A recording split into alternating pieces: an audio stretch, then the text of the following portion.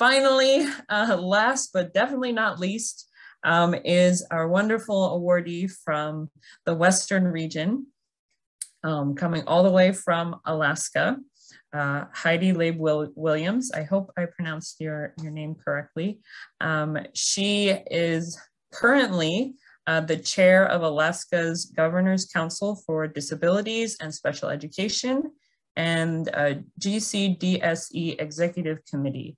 Um, that's in addition to many other roles that she has filled um, in making a change and a difference in uh, the government, the laws, and uh, in Alaska. Uh, she has been a lifelong advocate for individuals with disabilities, especially working to empower other self-advocates uh, with autism.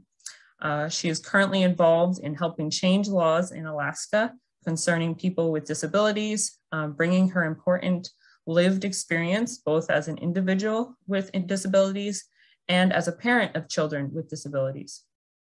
As an advocate, she encourages others to be exactly who they are and growing to who they can become, offering their gifts and talents to share with others. And she's done that in many different roles, not only in Alaska, but also in our nation's capital. And again, you can read the full bio. There's a lot there. It's very rich uh, when we post them on the website.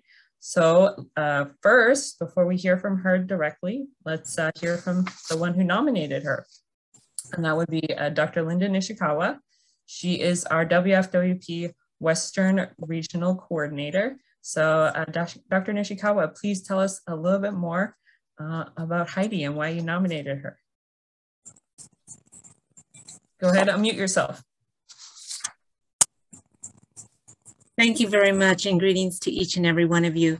It is an honor to be here and even more and more wonderful is to put forth the name of Heidi Lieb-Williams for the Her Story Award, who's so deserving of this award in more ways than a hundred. she is a woman with disabilities who has overcome many, many barriers her passion is to empower others. She's a strong advocate in education, not only as a teacher, but as an organizer, administrator, and developer. She has developed many resources for disabilities, not only on the local level, but the national level, and even and even I think internationally, she'll be going next month uh, to actually work in the national level from Alaska. She'll be traveling to Washington, D.C. to work in that capacity in the, in the, in the nation's level. She leads through example. Her direct quote is, leaders champion opportunities to help others, including building new leaders. And I feel like she throughout her life she has lived that way she has not only empowered other people, but actually given them the resources to even be more than who they are. She's she's quite a phenomenal person. She is an example of courage, leadership, compassion, and commitment. She lives for the sake of others and lives by the logic of love, which is very much apropos to Women's Federation for World Peace and Global Women Peace Network, which she joined. And I'm so grateful that she will be part of this international uh, strong women, incredible, powerful women in the world working together. You think you wouldn't, I wouldn't meet anybody else who I, because there's so many people in my life who've inspired me, my grandmother, my mother, but many incredible people in my in my journey. But actually, Heidi has has um, come across my path and has really shaken up even more so much inspiration inside of me. She is a woman everyone is blessed to know and work with, and even more importantly, to know as a dear friend. I'm so grateful to nominate you, Heidi. Congratulations on the Her Story Award from Women's Federation for World Peace. All right. Thank you so much, Dr. Nishikawa, for sharing a little bit more about your personal inspiration. Uh, since you've uh, known her a little longer than the rest of us. But let's uh, bring up the award and bring up our, our president to bequeath the award and read the inscription. Yeah, Heidi. It's my honor to give you the Her Story Award of the Women's Federation for World Peace USA, hereby recognizing you, Heidi Lee Williams, on this day, February 26, 2022. Honor for your exemplary commitment to being advocate and voice for those with disabilities, encouraging others to use their unique gifts and talents to achieve their dreams. We applaud you and your work to inspire many in Alaska and nationwide to build confidence and self-esteem. Congratulations. The power and the floor is yours.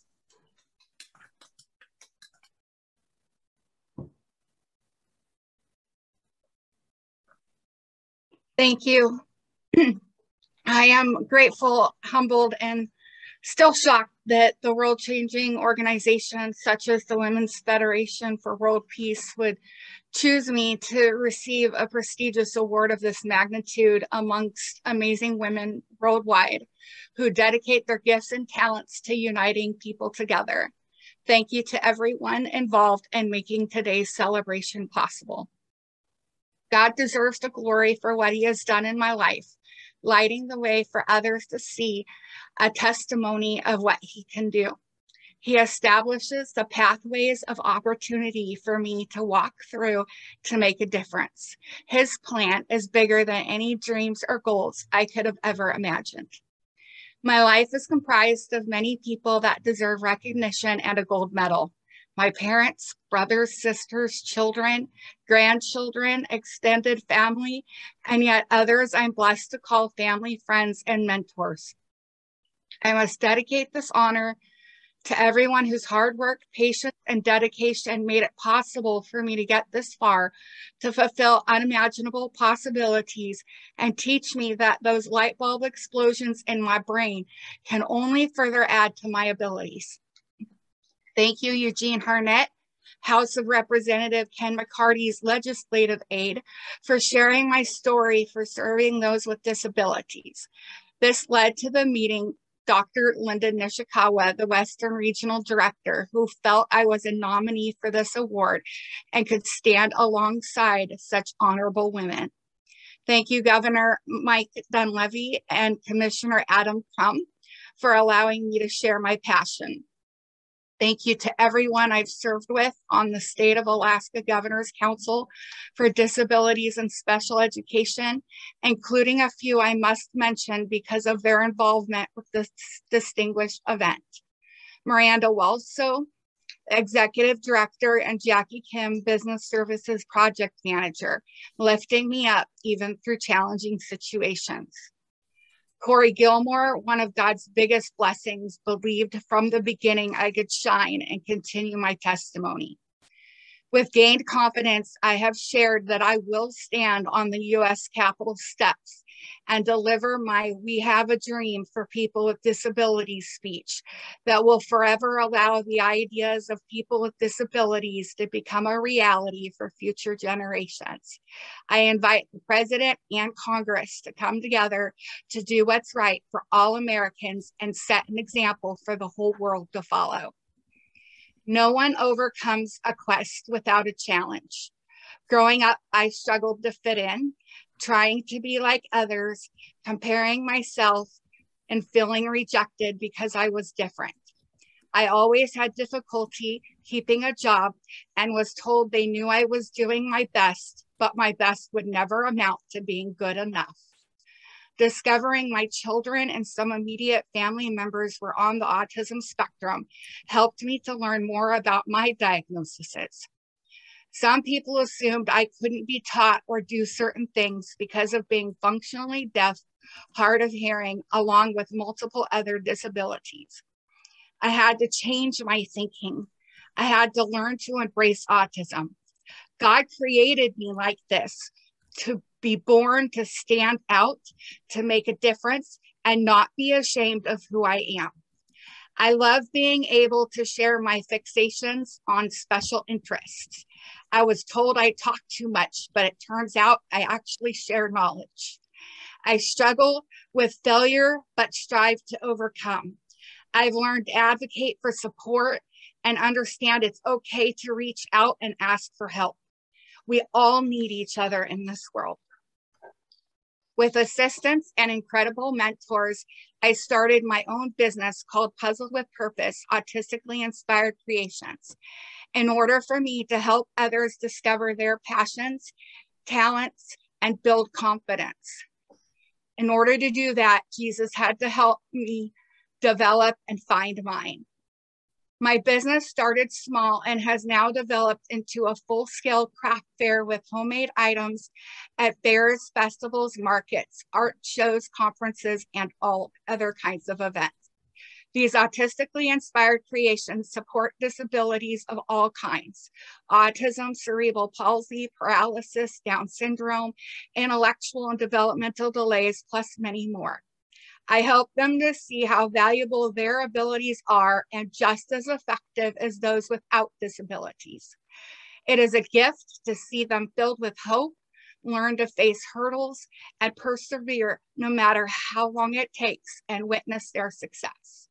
People with disabilities need to know they can find their passion in life, create their own income, own businesses, be entrepreneurs, become national advocates, and motivational speakers. I have faced many major health and personal issues, including my current breast cancer journey and spinal cord injuries, multiple surgeries, thyroid cancer, partial paralysis, domestic violence, rape, financial hardships, and more. Reality is, it is okay to not be okay sometimes. Through it all, I've learned doing my best doesn't mean pushing myself until I break, but that being kind to myself allows me to give the best version of me to others. Despite my flaws, I'm determined, even through heartbreaking moments, to shine through and true because I won't let challenges stop me. I am a Christ loving warrior that will keep on fighting until the Lord takes me home. Because of the amazing people who have left handprints on my life, I pray I can leave a thumbprint legacy of God's love. Obstacles faced, barriers broke, opportunities abound, and lessons learned to empower, give hope, and be a testimony to whoever needs to hear it. When someone tells you you can't or it's impossible, don't underestimate the power of adding the word yet. Your story can give someone else the ability to rise above. I've worked hard on my journey to even be considered for this type of award. And thank you for this honored treasure that I will forever hold dear to my heart. Thank you. Uh, thank you. Thank you so much, Heidi. I, I think I speak for everyone where we say, wow, we're so grateful for you sharing uh, your beautiful story. I know there's a lot more, um, but I, I just love your story of, you know, maybe first trying to be like everyone else, but then realizing you are your own unique, uh, uh divinely inspired uh, individual. And uh, how you can use your your abilities to bring value and add value to other people's lives. And uh, I think we can all uh, resonate with that message that uh, even if we say I can't, we just have to put yet. You can't yet. I can't do it. Not yet. But there is so much possibility. Um, I just want to, yeah, encourage everyone, please write your thank yous and congratulations to Heidi um, and to all of our Her Story awardees um, for sharing their beautiful and moving uh, testimonies and lessons they gained um, from their life journey so far. And we're we are, uh, at Women's Federation, we're a network of women striving to live by the logic of love and compassion and bring peace in our communities. So we're, we're happy to welcome all of you to this growing network.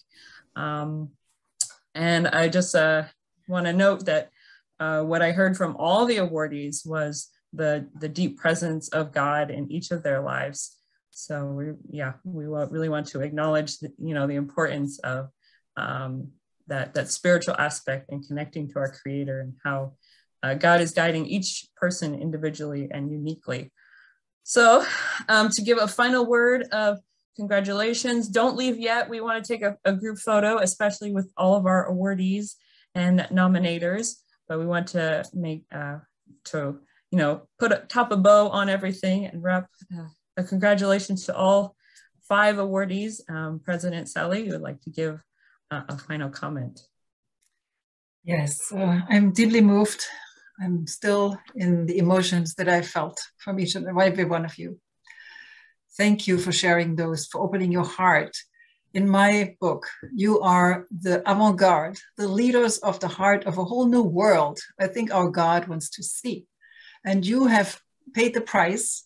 You have won the won the victories and now you can be the, the champions to champion this world we're calling the world of heart and the world of peace and I, I want to thank you for sharing these priceless priceless lessons that we don't hear anywhere else we should have charged for this by the way. I don't know if you can even pay for this. This is paid for blood money you know. You're investing here giving us this precious knowledge. And so i just want to kind of giving you a calling, a new calling, if I could. I give you a new calling to go forth as the new ambassadors of heart and peace to bring the ultimate change in this world from the from the darkness into the light because you are the light bearers you are the healers because healed people heal other people right so you have gone through the hell really all of you and you have overcome it so now you can bring everybody else out of hell. and uh, it was really interesting, as also Katarina mentioned, you know, we didn't really choose and select you because we knew you had, you had such deep faith. It was the people who chose you.